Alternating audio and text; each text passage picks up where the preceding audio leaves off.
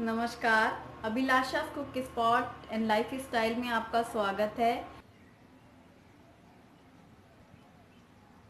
Friends आज इस video में मैं आपके साथ पनीर बटर मसाला की रेसिपी शेयर करने वाली हूँ। बटर पनीर मसाला बनाना बहुत ही आसान है और ये खाने में बहुत ही टेस्टी होती है।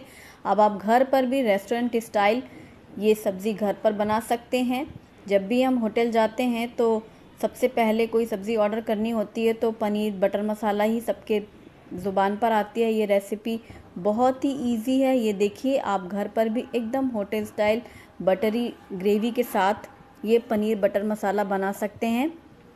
ये देखिए कितनी थिक ग्रेवी है फ्रेंड्स। और इसका टेस्ट भी बहुत ही ज़्यादा अच्छा है। एकदम होटल स्टाइल। आप इस रेसिपी से ज़रूर ट्राई करें। एक कढ़ाई में हम दो कप पानी गरम करेंगे।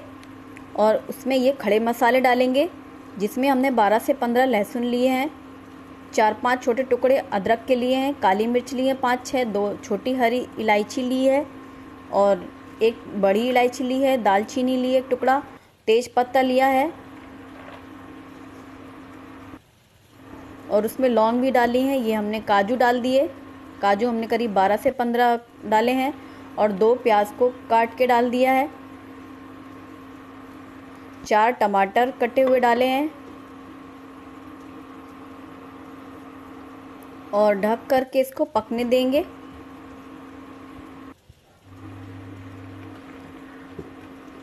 आँच को मीडियम ही रखेंगे और सारी चीज़ें हमें गलानी है। अभी टमाटर अच्छे से पका नहीं है, इसलिए फिर से एक बार ढक देंगे और फिर देखेंगे। अब प्याज और टमाटर अच्छे से गल चुका है। ये देखिए मैश हो रहा है। हमें इसको खूब अच्छे से खौला लेना है, अच्छे से पक गए हैं काजू और सारी खड़े मसाले। अब आँच बंद करके इसे ठंडा होने देंगे। ठंडा होने के बाद जो तेज पत्ता है, उनके पत्ते निकाल लेंगे और बड़ी इलायची का जो छिलका है, वो निकाल लेंगे। देखिए हमने निकाल के अलग कर दिया और मिक्सर में डाल करके इसको पीसेंगे हम। और हमें एकदम बारीक पेस्ट बनाना है। ये देखिए, इस तरीके का पेस्ट तैयार हो गया है।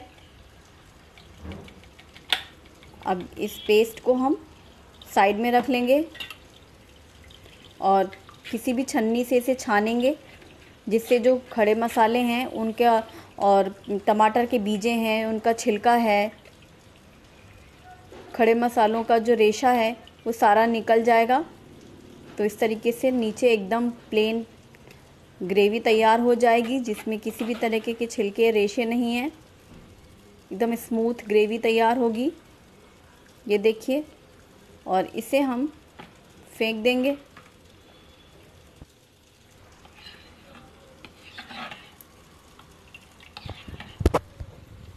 और ये हमारी ग्रेवी तैयार हो गई है। इसे हम किसी भी डोंगे में निकाल लेंगे। ये देखिए, एकदम स्मूथ ग्रेवी है ये। इसे हमने अच्छे से छान लिया है। अब डोंगे में निकाल करके इसको अलग रख देंगे। अब पनीर के हम पीसेस करेंगे। पनीर के हमको बड़े बड़े पीसेस करने हैं। ये हमने करीब 400 ग्राम पनीर लिया है। और इस तरीके से इसके बड़े बड़े पीस करेंगे। पनीर के टुकड़े आप अपनी पसंद के अनुसार कम कर, छोटे, बड़े कर सकते हैं। ये देखिए फ्रेंड्स, हमने इस साइज़ के पनीर कट किया है। अब इन्हें हम साइड में रख लेंगे। अब एक कढ़ाई में हम दो बड़े चम्मच बटर मेल्ट करेंगे और उसमें एक चम्मच जीरा डालेंगे। और जो हमने ग्रेवी छानी है, वो पूरी उसमें मिला लेंगे। और कढ़ाई में डाल करके इसको लगातार हिलाएँगे। काजू एकदम बारीक पिसा हुआ है, एकदम इसकी ग्रेवी गाढ़ी रहती है। ये देखिए धीरे धीरे वो गाढ़ा होने लगता है। अब हमें इसमें कोई मसाले मिलाने की ज़रूरत नहीं है, बस इसे लगातार हिलाते रहें। आँच मीडियम ही रखेंगे। अब इसमें हम ये लाल मिर्ची पाउडर मिलाएँगे आधा चम्मच। और नमक स्वाद के अनुसार मिलाएँगे। आधा चम्मच हमने चीनी मिलाई है, ये बिल्कुल ऑप्शनल है, आप चाहें तो डालें। और बहुत थोड़ा सा हरा धनिया अभी डालेंगे, बाकी हम बाद में गार्निश करेंगे, इसलिए हमने रख लिया है कटा हुआ हरा धनिया। और जितने हमने ये पीसेस किए हैं पनीर के, हमने ये पनीर के पीसेस डाल देंगे उसमें। ये देखिए फ्रेंड्स अब पनीर डालेंगे और फिर से एक बार उसे चलाएँगे। ये देखिए, सब्ज़ी का कलर कितना सुंदर आया है। ग्रेवी बहुत ही थिक हो रही है। आँच को मीडियम ही रखेंगे।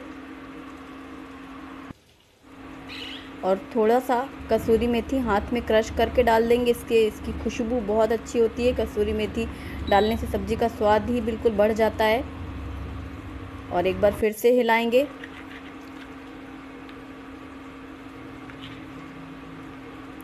और अब हम लेंगे क्रीम। ये हमने फ्रेश क्रीम ली है। करीब चार से पाँच चम्मच हम क्रीम मिलाएँगे। फ्रेश क्रीम डालने से ग्रेवी में थिकनेस तो आती है और टेस्ट भी बढ़ जाता है। और फ्रेश क्रीम डाल कर के भी फिर से एक बार मिक्स करेंगे पूरी सब्ज़ी में। सबको हिलाएँगे। ये देखिए, ग्रेवी एकदम गाढ़ी होती जा रही है, एकदम। स्मूथ ग्रेवी है ये, क्योंकि इसमें एक भी रेशा नहीं है। और क्रीम का जो फ्लेवर है, बहुत अच्छा लगता है और सब्ज़ी का कलर भी बहुत ही सुंदर आया है। इसे लगातार हिलाएँ और अब आँच बंद कर देंगे और आप किसी भी डोंगे में या बाउल में सर्व करेंगे और ऊपर से हरा धनिया छिड़क देंगे। ये देखिए, हमारी पनीर, बटर मसाला, सब्ज़ी तैयार है। एकदम रेस्टोरेंट स्टाइल ये सब्ज़ी बनी हुई है। आप इस रेसिपी से पनीर पनीर, बटर मसाला ज़रूर बनाइएगा। और फ्रेंड्स, कमेंट बॉक्स में मुझे ज़रूर बताइएगा कि आपको ये रेसिपी कैसी लगी। अगर आपको ये रेसिपी पसंद आए तो अपनी फैमिली और फ्रेंड्स के साथ शेयर ज़रूर करें। ये देखिए फ्रेंड्स, कितनी अच्छी ग्रेवी है। एकदम मक्खनी ग्रेवी। आप देख रहे हैं, इसका स्वाद बहुत ही अच्छा है, आप एक बार ये रेसिपी बनाएँगे तो घर में सब्ज़ी की डिमांड दोबारा ज़रूर होगी। Thank you friends thank you for watching bye bye